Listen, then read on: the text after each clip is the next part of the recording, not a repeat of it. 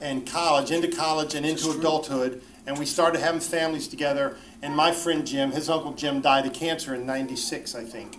And so it's so great to see Jim's brother Alan and his wife Lynn, and my friend Jimmy's nephew Jimmy, who is a percussionist, um, which is kind of like a musician.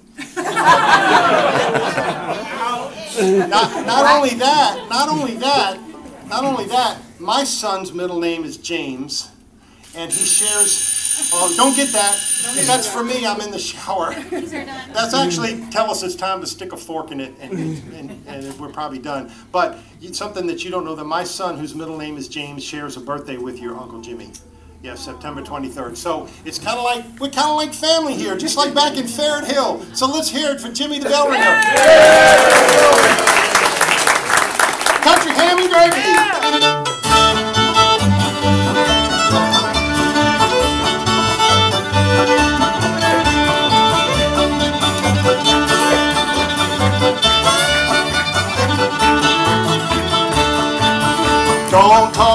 Old sheep meat, your mutton, or your lamb. Them ain't nothing can compare with good old country. Here we go!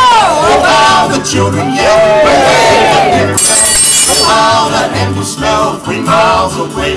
Don't talk about your red snap fish, your hot cakes in the pan. Them ain't nothing can compare with good old country ham. Oh, how the children yell Oh, how that ham will smell three miles away. Don't talk about your old hotcakes flipping in the pan. Cause them ain't nothing can compare with good old country ham.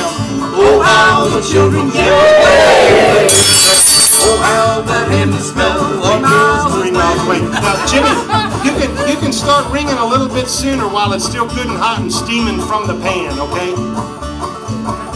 Don't talk about your fried chicken, you think you're living easy. Them ain't nothing can compare with the country ham and gravy. Oh, how the children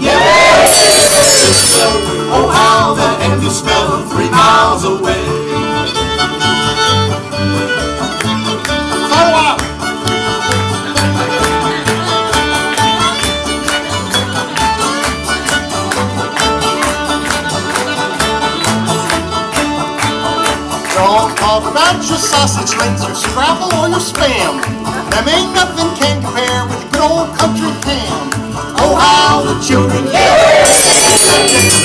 Oh, how that ham will smell three miles away. Don't talk about your pasta or your pizza in the pan. Cause all them toppings can't compare with the good old country ham. Ah. Oh, how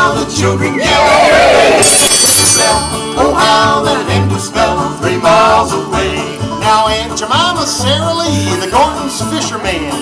Even Jimmy Dean gets beat by the good old country ham. Oh, how the children yell. Oh, how that ham will smell three miles away.